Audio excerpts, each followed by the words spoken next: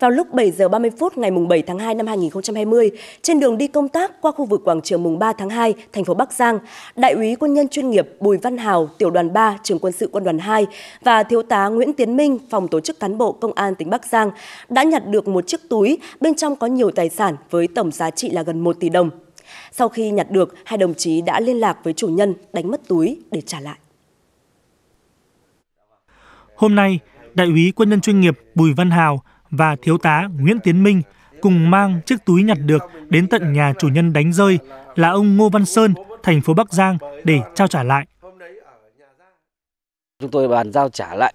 toàn bộ số tiền trong ví, đó là gồm tiền ờ, đô la và tiền ờ, Việt Nam và vàng và một điện thoại ờ, hãng hiệu là Vertu. Toàn bộ số tiền đó chúng tôi đã bao trao trả lại cho người đã mất. Rất cảm động. Cảm ơn đồng chí Minh và đồng chí Hảo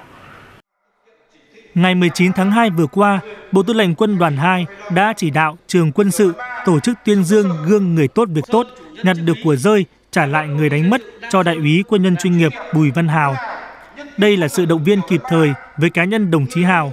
đồng thời góp phần lan tỏa những việc làm ý nghĩa, hành động cao đẹp đến cán bộ, chiến sĩ trong toàn đơn vị.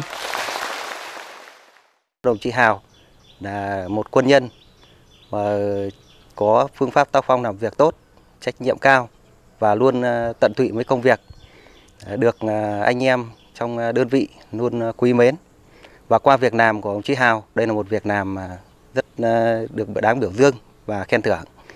Và cũng là một tấm gương sáng cho cán bộ, chiến sĩ, học viên của tiểu đoàn là học tập và noi theo.